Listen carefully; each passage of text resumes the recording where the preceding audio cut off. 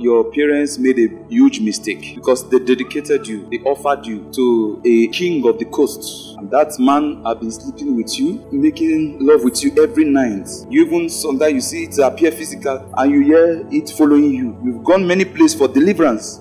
it has been there. I don't know who you, you prayed prayed with someone recently. I don't know whether truthful or true. I don't know. Thing came out. 100% true. That thing was a demonic baby because your stomach used to do as if you are pregnant. A demonic baby from that spirit. There's a catastrophe that want to happen that day. The Lord said I should cancel because there's a fight with a man. Are you hearing me? There's a huge fight now between you and a man, and if don't pray for you, is the fight is growing to another level. I saw your body at the hospital. There was a time you were rushed to the hospital, you passed out, you were unconscious. The Lord is canceling this battle. Amen.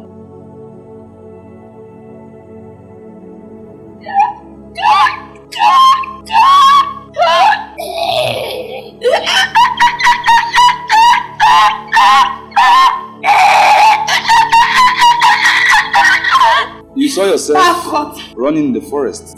You went to a wrong place for church. Is God revealing to you that you have stepped into wrong places and they are still fighting you? You are a wanderer.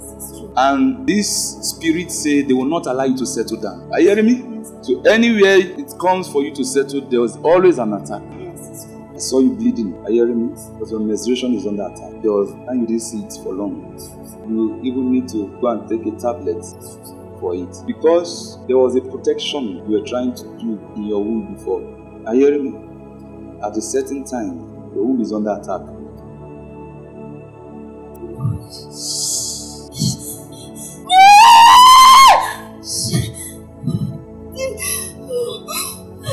The Lord is giving you a cleaning company. Are you hearing me? Yeah, a company for cleaning.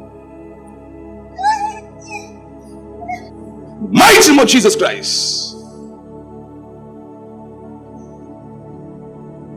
There's a ritual you went to do and you stopped. You did half of the ritual. You went for prayer somewhere and they said, Bring this, bring this, bring it. You started and you stopped. I saw one of your child dying. Is your child you were cutting? Are you hearing me? Because when you woke up, you were, you were afraid. I'm so tired. Where are your children? Your first child is about to die. You went for somewhere for prayer and they gave you something like sweets or honey, I don't know, but it was something sweet. Yes. What did they give you? They gave me something to chew. Something sweet. Huh? Why did you go there?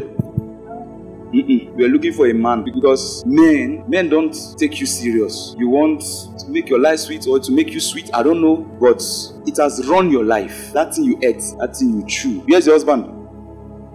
You can never marry. It's opposite of what you did. They gave you something sweet to chew. Now it became bitter. Mama, come. I saw them giving you a house. Do you hear me?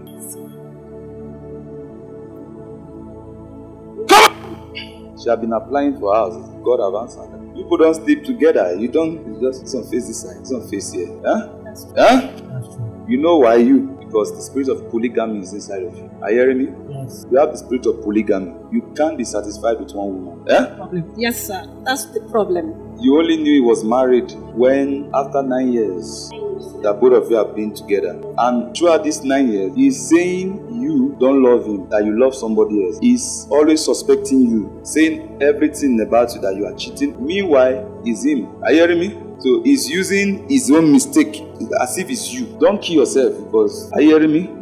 So now you, you came to know whether you should stay or you should go. That's why you are here today. You confronted him about it. You fight him about it. Did you tell him? Yeah. What did he say?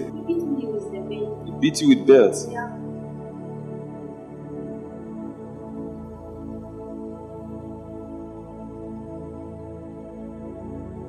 The Lord said, His presence is deep in this water.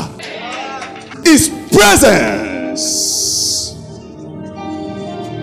I don't care where your situation is coming from.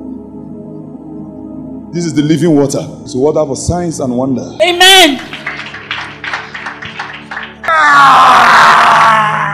Mighty of Jesus Christ.